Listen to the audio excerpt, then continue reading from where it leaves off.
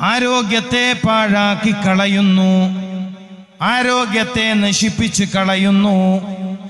സ്വയം തളരുന്നു. സ്വയം ക്ഷീണിക്കുകയാണ് മനുഷ്യരിൽ അധിക പേരും. അങ്ങനെ പറയുമ്പോൾ ഈ വിഷയത്തിന്റെ ഒരു ഭാഗം പോകുന്നത് എങ്ങട്ടാണെന്നറിയുമോ? പുതിയ കാലത്തെ മനുഷ്യന്മാർക്ക് സുലഭമായി ഭക്ഷണം ലഭിക്കുമെങ്കിലും ആവശ്യമുള്ളത് തിന്നൂല്ല. ആവശ്യമില്ലാത്തത് വല്ലാതെ കഴിക്കുകയും ചെയ്യും. ഇതാണ് പുതിയ കാലത്തൊരു ശീലം. ആവശ്യമുള്ളത് തിന്നൂല. ശരീരത്തിന് ആവശ്യമുള്ള ഭക്ഷ്യവസ്തുക്കൾ നമ്മൾ കൊടുക്കൂല. ഉദാഹരണം പറഞ്ഞാൽ ഉദാഹരണം പറഞ്ഞാൽ ഒരു മനുഷ്യന് പ്രഭാതത്തിൽ അവന്റെ ശരീരത്തിന് പ്രഭാതത്തിൽ അവന്റെ ശരീരത്തിന് രാവിലത്തെ ഭക്ഷണമായി ഒരു മനുഷ്യന്റെ ശരീരത്തിന് ഏറ്റവും നല്ലത് പഴങ്ങളാണ്. ഏറ്റവും നല്ലത് പഴമാണ്. നേന്ത്രപ്പഴവും ഈത്തപ്പഴവും അത്തിപ്പഴം പോലത്തെ നല്ല പഴങ്ങളാണ്. ആരാ കഴിക്കാൻ? ആരും കഴിക്കില്ല പാഴാക്കി കളഞ്ഞവരിൽ പെട്ടു. എല്ലാ പ്രഭാതങ്ങളിലും പഴം കഴിക്കാത്തവർ എല്ലാ പ്രഭാതങ്ങളിലും ലഭ്യമാകുമെങ്കിൽ പഴം കഴിക്കാത്തവർ ആരോഗ്യത്തെ പാഴാക്കി കളഞ്ഞവരാണ്. മഅബൂനും ഫീഹിമ കതീറും മിനന്നാസ്. ഗർഭിണിയായ സമയത്തൊരു പെൺകുട്ടി ഗർഭിണിയായ സമയത്തൊരു പെൺകുട്ടി ഈത്തപ്പഴവും ഏത്തപ്പഴവും അതുപോലെ പപ്പായയും പഴുത്തത് ഒക്കെ കഴിച്ചില്ലെങ്കിൽ അവൾ അവളുടെ ആരോഗ്യത്തെ പാഴാക്കി കളഞ്ഞവളാണ്. ഉദാഹരണം പറഞ്ഞതാണ് നിങ്ങൾ നിങ്ങളുടെ ആരോഗ്യത്തെ പാഴാക്കി കളയുന്നു എന്നത് ബോധ്യപ്പെടുത്താൻ ഉദാഹരണം പറഞ്ഞതാ.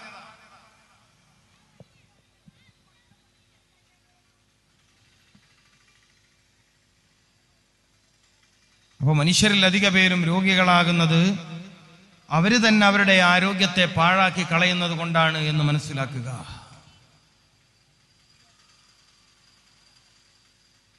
ആവശ്യമുള്ളത് തിന്നൂല്ല. ഞാൻ പറഞ്ഞു വന്ന കാര്യം അതാണ്. ആവശ്യമുള്ളത് തിന്നൂല്ല. അനാവശ്യമായത് കഴിക്കും. ഈ കാലത്തൊരു വെ- പ്രശ്നം അതാ. വെള്ളം കുടിക്കൂല പലരും വെള്ളം കുടിക്കുന്നതിന്റെ അളവ് വളരെ കുറവാ. പുതിയ കാലത്തൊരു പ്രശ്നം എന്താ? കേരളത്തിന്റെ ഇപ്പോഴത്തെ പ്രശ്നം എന്താ? ചൂട് കൂടുതലാണ് ചൂട് കാലത്ത് നിങ്ങൾ നിങ്ങളുടെ ശരീരത്തെ പ്രതിരോധിക്കേണ്ടതില്ലേ? മൂത്രാശയ സംബന്ധമായ രോഗങ്ങൾ വരാതിരിക്കാൻ ഉഷ്ണസംബന്ധമായ രോഗങ്ങൾ വരാതിരിക്കാൻ സൂര്യാഘാതം പോലത്തെ പ്രശ്നങ്ങൾ ശരീരത്തിൽ ഏൽക്കാതിരിക്കാൻ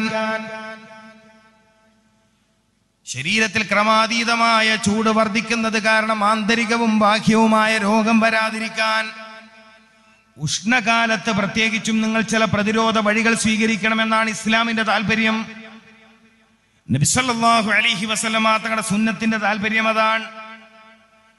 ആ വിഷയത്തിൽ ഒന്നാം സ്ഥാനത്ത് നിൽക്കുന്ന വലിയ പ്രതിരോധ വഴിയാണ് ആവശ്യമായ അളവിൽ വെള്ളം കുടിക്കണം എത്ര പേര് കുടിക്കാൻ. വീട്ടിലിരിക്കുന്ന സ്ത്രീകൾ വെള്ളം കുടിക്കൽ വളരെ കുറവാണ്. ഞാൻ കാണിക്കാൻ വരുന്ന കൺസൾട്ടിങ്ങിന് വരുന്ന രോഗികളോടേക്കും വെള്ളം കുടിക്കാറുണ്ടോ? അത്യാവശ്യം കുടിക്കും. അത്യാവശ്യം കുടിക്കുന്ന പറഞ്ഞാൽ ഊണയിക്കുമ്പോൾ അച്ചാറൊക്കെ തൊട്ട് കൂട്ടണമായിരിക്കും. രണ്ടും മൂന്നും നാലും മാത്രം ഗ്ലാസ് കുടിക്കുന്ന ആളുകളുണ്ട്. പുതിയ കാലത്ത് ഇസ്ലാമിക സമൂഹം ഇതൊക്കെ പഠിക്കണം. മനുഷ്യ സമൂഹം ഇത് പഠിക്കണം. മാനവരാശിക്ക് ഈ പാഠം പഠി പഠിപ്പിച്ചു കൊടുക്കണം. ഖുർആാനിൽ രോഗം വരാതിരിക്കാനുള്ള വല്ല പ്രതിരോധം ഉണ്ടോ എന്ന് ചോദിച്ചപ്പോ വഷ്റബു. വഷ്റബു. രോഗം വരാതിരിക്കാൻ വല്ല പ്രതിരോധ മാർഗവും ഉണ്ടോ? മനുഷ്യ ശരീരത്തിൽ മനുഷ്യ ശരീരത്തിൽ മാരകമായ രോഗം വരാതിരിക്കാൻ വല്ല പ്രതിരോധ വഴിയും ഖുർആൻ പറഞ്ഞിട്ടുണ്ടോ? വഷ്റബു. കുടിക്കുക. ഞാൻ ആ സദസ്സിനോട് ഇടയ്ക്ക് ചോദ്യം ചെയ്തിരിക്കുകയാണ്. ഇവിടെ ദുനിയാവിൽ റാഹത്തോടെ ജീവിക്കണം എന്ന് താല്പര്യമുള്ളവർക്കുള്ള വേദായി പറയണത് പ്രസംഗ പറയണത്. ഇവിടെ ഈ ഈ നാട്ടിൽ ഇതാണ് നമ്മുടെ വലിയ വിഷയം. നമ്മുടെയൊക്കെ ഏറ്റവും വലിയ അന്വേഷണം ദുനിയാവിൽ സുഖം എങ്ങനെ വർദ്ധിപ്പിക്കാം സന്തോഷം എങ്ങനെ വർദ്ധിപ്പിക്കാം എന്നതാണ്. അതിനെക്കുറിച്ചാണ് ഞാനും പറയുന്നത്. എനിക്കും ദുനിയാവിനോടാ കുറച്ച് താല്പര്യം കൂടുതൽ. കാരണം ആഹ്റത്തിന്റെ കൃഷിയുടെ ഇതാണ്. ആഹ്റ ഉണ്ടാക്കാൻ ദുനിയാവ് തന്നെ വേണം.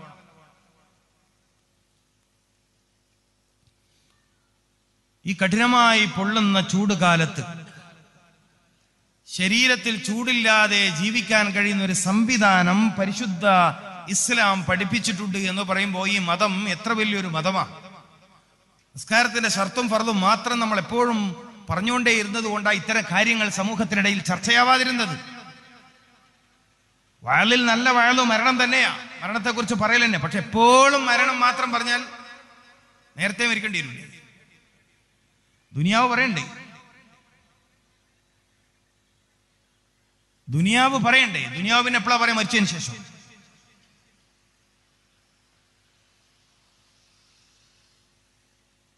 ചൂട് വല്ലാതെ വർദ്ധിച്ച കാലഘട്ടത്തിൽ ഇമാം റംലി റഹ്മത്തുല്ലാഹി അലഹിയെ നമ്മൾ ഓർമ്മിക്കണം. വൈദ്യശാസ്ത്ര ലോകത്തെ വലിയ പണ്ഡിതനാണ് ഇമാം റംലി റഹ്മത്തുല്ലാഹി അലഹി. മുഫസ്സിറാണ് അദ്ദേഹം. ഖുർആാനിന് തഫ്സീർ എഴുതിയ പണ്ഡിതനാണ് അദ്ദേഹം. റംലി റഹ്മത്തുല്ലാഹി അലഹിയോട് രോഗം വരാതിരിക്കാനുള്ള പ്രതിരോധ വഴി ഖുർആാനിൽ പറഞ്ഞിട്ടുണ്ടോ എന്ന് ചോദിച്ചപ്പോ അദ്ദേഹം പറഞ്ഞ മറുപടിയിലെ ഒരു പ്രയോഗം. അദ്ദേഹം പറഞ്ഞ മഹാനുഭാവൻ പറഞ്ഞ മറുപടിയിലെ ഒരു പദപ്രയോഗം മാത്രം ഞാൻ ഇവിടെ എടുക്കുകയാണ്. വഷറബൂ വഷറബൂ നീ വെള്ളം കുടിക്കുക. പുതിയ കാലത്ത് മനുഷ്യരിൽ പലരും തളർന്നു പോയത്. മതിയായ അളവിൽ വെള്ളം കുടിക്കാത്തത് കൊണ്ടാണ്. ഹൃദയത്തിന് ശക്തി ലഭിക്കണമെങ്കിൽ വെള്ളം കുടിക്കണം. ഹൃദയത്തിന് ശക്തി ലഭിക്കണമെങ്കിൽ വെള്ളം കുടിക്കണം. ഹൃദയം ശക്തിയുള്ളതായാൽ ഹൃദയം ശരിയായ രൂപത്തിൽ പ്രവർത്തിക്കുന്നതായാൽ നീ സമ്പൂർണ ആരോഗ്യമുള്ളവനായി തീരുമെന്നാണ് നബീ സല്ലല്ലാഹു അലൈഹി വസല്ലമ തങ്ങളുടെ അധ്യാപനത്തിലുള്ളത്. നിന്റെ ഹൃദയം നന്നായാൽ ശരീരം മുഴുവനും നന്നായി തീരും ഹൃദയം നന്നാവാൻ വലിയൊരു വഴിയേതാ? ഒരുപാട് വഴിയുണ്ട്. പത്തിൽ കൂടുതൽ വഴികൾ മഹാന്മാരായ പണ്ഡിതന്മാര് പഠിപ്പിച്ചിട്ടുണ്ട് ഹൃദയം നന്നാവാൻ. എന്നാ അതിലൊരു വഴി ഏതാ വെള്ളം കുടിക്കലാണ്. വെള്ളം മതിയായ അളവിൽ കുടിക്കലാണ്. എന്റെ പ്രിയപ്പെട്ട സഹോദരി സഹോദരന്മാരെ നമ്മളിൽ പലരും ആവശ്യത്തിനുള്ള അളവിൽ വെള്ളം കുടിക്കാത്തവരാണ്. വഷ്റബൂ വെള്ളം കുടിക്കുക. പ്രത്യേകിച്ചും ചൂട് കാലത്ത് ഇസ്ലാമിക ശാസ്ത്രപ്രകാരം ഒരു മനുഷ്യന് ഭക്ഷണം കഴിക്കണമെങ്കിൽ അയാൾക്ക് വിശക്കണം. ആഹാരം കഴിക്കണമെങ്കിൽ അയാൾക്ക് വിശക്കണം. എന്നാ വെള്ളം കുടിക്കണമെങ്കിലോ? ദാഹിക്കേണ്ടതില്ല വെള്ളം കുടിക്കണം. ദാഹിക്കേണ്ടതില്ല അയാൾ വെള്ളം കുടിക്കണം. നമ്മളിൽ പലർക്കും ഹൃദയം തളർന്നു പോയത് തലച്ചോറ് തളർന്നു പോയത് എല്ല് രോഗം വർദ്ധിപ്പിച്ചത്. ഇനിയിപ്പോ പുതിയ രോഗം വരാൻ കേട്ടോ എല്ല് രോഗത്തിൽ കാലിന്റെ മുട്ടിന്റെ ഭാഗത്തുള്ള ജോയിന്റുകൾ പരസ്പരം എത്രയാളാ ബുദ്ധിമുട്ടിലായത്? എത്ര ആളുകൾക്കാണ് ഈ പ്രയാസം? നിസ്കാരത്തിലെ ഏറ്റവും മഹത്തായ സുജൂത് ചെയ്യാൻ കഴിയാതെ നിസ്കാരത്തിലെ ഏറ്റവും പ്രധാനപ്പെട്ട ഭാഗം സുജൂതാണ്. മനോഹരമായി നാം പണിയുന്ന ആരാധനാലയത്തിന് മേൽ വെക്കപ്പെട്ട പേര് മസ്ജിദ് എന്നാണ്. മസ്ജിദ് എന്നാൽ സുജൂത് ചെയ്യുന്ന ഇടമെന്നാണ്. എത്ര എത്ര ആളുകളാണ് നിസ്കാരത്തിൽ സുജൂത് ചെയ്യാൻ കഴിയാതെ പ്രയാസത്തിലായത്. എത്ര ആളുകൾക്കാണ് സുജൂത് ചെയ്യാൻ കഴിയുന്നില്ല. ദേ മുട്ടുമടക്കാൻ അവർക്ക് പറ്റൂല എന്നാ പറയണത്. മുട്ടുമടക്കാൻ അവർക്ക് കഴിയില്ല. മതിയായ അളവിൽ വെള്ളം കുടിച്ചിരുന്നുവെങ്കിൽ എല്ലുകൾക്ക് ശക്തി ലഭിക്കാൻ അസ്ഥികൾക്ക് ശക്തി ലഭിക്കാൻ നിന്റെ ശരീരത്തിലെ അസ്ഥികൾക്ക് ശക്തി ഉണ്ടാവാൻ നീ ഏറ്റവും ശ്രദ്ധയോടെ കൈകാര്യം ചെയ്യേണ്ടിയിരുന്നത് വെള്ളത്തെയായിരുന്നു. വെള്ളം കുടിക്കണമായിരുന്നു. അപ്പൊ ശരാശരി ഒരു രണ്ടര രണ്ടര ലിറ്റർ വെള്ളമെങ്കിലും ദിനം പ്രതി നാം കുടിക്കേണ്ടതുണ്ട്. രണ്ടര ലിറ്റർ വെള്ളമെങ്കിലും ദിനം പ്രതി നാം കുടിക്കേണ്ടതുണ്ട്. പച്ചവെള്ളത്തിന്റെ കാര്യമാ പറയുന്നത്. ചൂടാക്കി കുടിക്കുന്ന വെള്ളത്തെ കുറിച്ചല്ല ചൂടാക്കി കുടിക്കുന്ന വെള്ളത്തെ കുറിച്ചല്ല പറഞ്ഞത്. പച്ചവെള്ളം കുടിക്കണം.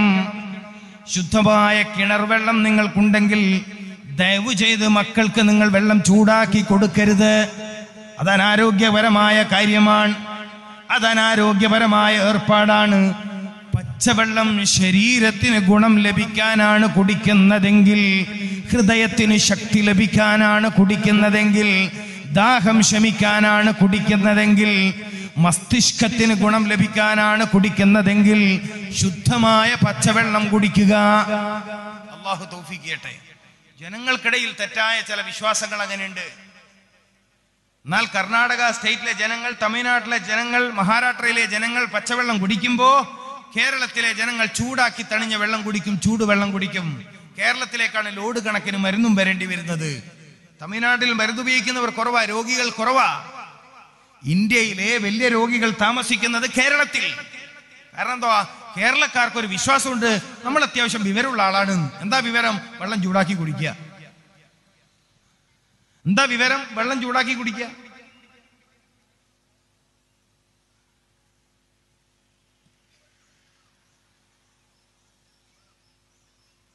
സാധാരണ എപ്പോഴും സ്വർഗത്തിലെ പാനീയത്തെ കുറിച്ചാണ് വയൽ പറയാറുള്ളത്. ഇനിയിപ്പോ ദുനിയാവിലെ വെള്ളത്തെ കുറിച്ചാ വയൽ. ദേ സാധാരണ വയൽ എന്ന് പറയുന്നത് സ്വർഗത്തിലെ തേനാറുകളെ കുറിച്ച് പാലരുവികളെ കുറിച്ചാണ് നമ്മൾ വയൽ പറയാറുള്ളത്. ഇത് ഭൗതിക ജീവിതത്തിൽ ജീവിതം സ്വർഗീയമാക്കാനുള്ള ജീവിതം സ്വർഗീയമാക്കാനുള്ള വഴികളെ കുറിച്ചാണ് പറയുന്നത്. ജീവിതം സ്വർഗീയമാക്കാനുള്ള വഴികൾ.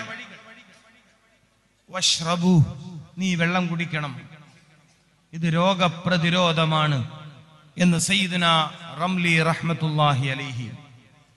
മതിയായ അളവിൽ വെള്ളം കുടിക്കുക. സ്ത്രീകൾക്കിടയിൽ കുട്ടികൾക്കിടയിൽ മൂത്രാശയ രോഗം വർദ്ധിക്കുന്നതിന് ഒരു വലിയ കാരണം ഗർഭിണികളിൽ ആരോഗ്യം കുറയുന്നതിന്റെ വലിയ കാരണം പ്രസവം പ്രയാസകരമാവുന്നതിന്റെ വലിയ കാരണം മതിയായ അളവിൽ ഗർഭകാലത്ത് വെള്ളം കുടിക്കുന്നില്ല എന്നതാണ്.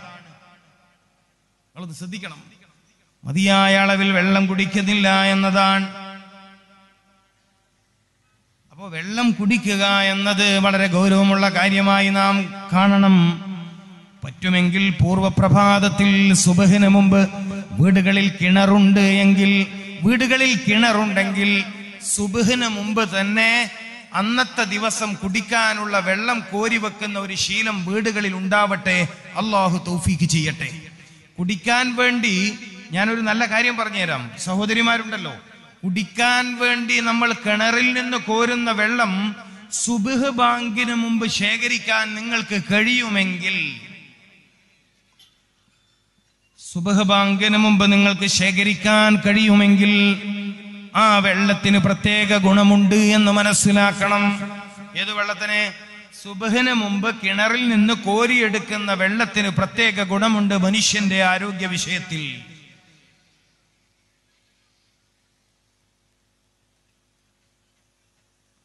പറ്റുമെങ്കിൽ നിങ്ങൾ അത് ചെയ്യണം.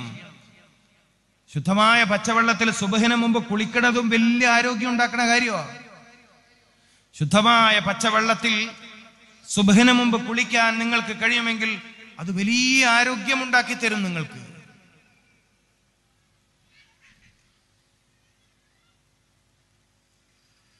അപ്പോ പറഞ്ഞു വന്നത് ശരിയായ രൂപത്തിൽ നമ്മൾ നമ്മുടെ ശരീരത്തോട് ഇടപെടൽ നടത്തണം.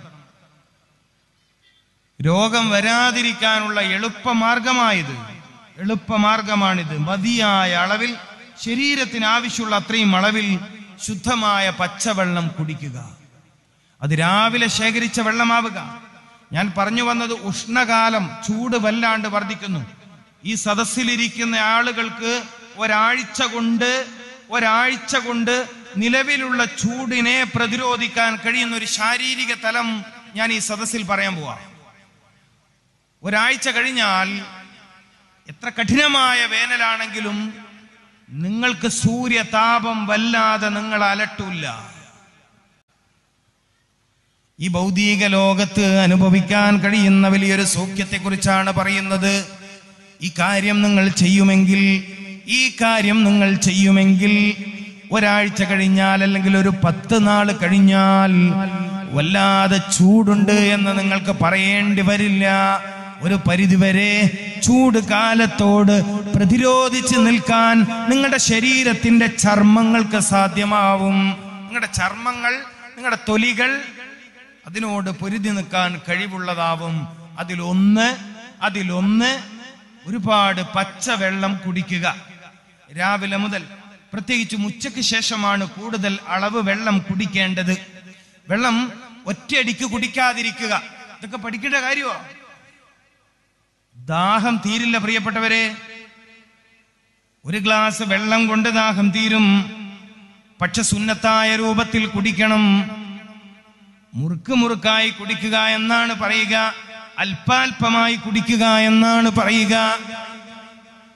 അല്പാൽപമായി നിങ്ങൾ ഒരു ഗ്ലാസ് വെള്ളം കുടിക്കുന്നതും ഒരൊറ്റ സ്പീഡിൽ ഒരു ബോട്ടിൽ വെള്ളം കുടിക്കുന്നതും രണ്ടും വല്ലാത്ത വ്യത്യാസമുണ്ട്.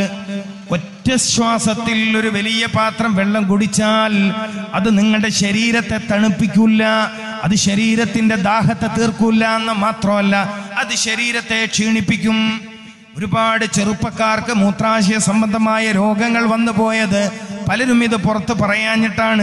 എത്രയെത്ര ചെറുപ്പക്കാർക്കാണ് മൂത്രമുറ്റുന്ന രോഗമുള്ളത് എന്നറിയുമോ? ഞാൻ ചികിത്സിക്കാനിരിക്കുന്ന ഒരാളാണ്. പള്ളിയിലെ ഇമാമായി ജോലി ചെയ്യുന്ന ഒരു വ്യക്തിയല്ല.